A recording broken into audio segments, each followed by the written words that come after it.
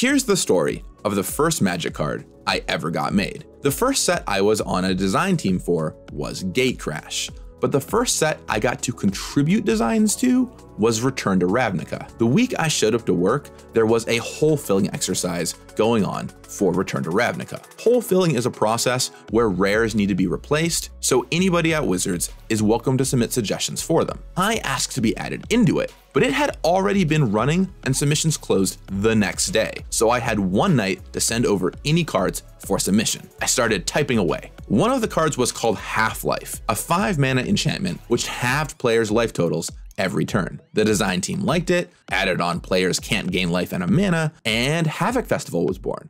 My first card ever.